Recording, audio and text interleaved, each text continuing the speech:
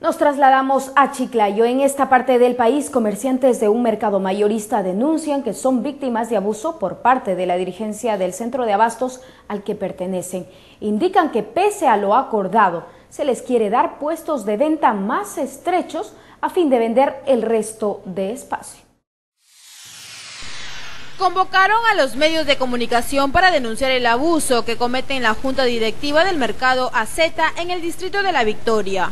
Un grupo de comerciantes que presiden la directiva pretende demoler las instalaciones del mercado victoriano con el único objetivo de apoderarse de los más de 300 puestos ocupados en la actualidad por más de 350 comerciantes. El supuesto proyecto tiene licencia de construcción, pero curiosamente no tienen el funcionamiento para reconstruir el mercado AZ.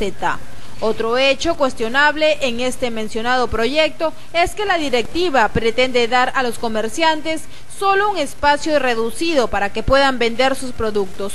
Sin embargo, los expedientes señalan que cada puesto debe medir dos metros para el mejor funcionamiento del centro de abastos. Los comerciantes coinciden que la junta directiva pretende votarlos del mercado dejando los impuestos de trabajo.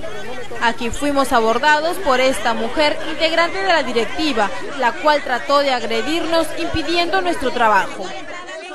Sí, pero, pero no me toques. Lo que quiera, pero no me toques. Déjalo ahí porque todo está... Señor, está la Eso es lo que eres, camionero y todo. Ya, nosotros estamos luchando por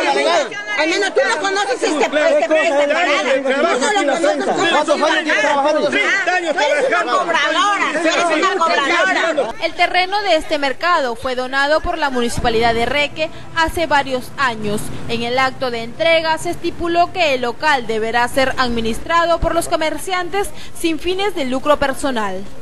Los comerciantes a desalojar nunca fueron informados del proyecto, a pesar que estos casi 350 comerciantes tienen unos ingresos de casi 8 mil nuevos soles mensuales por merced conductiva.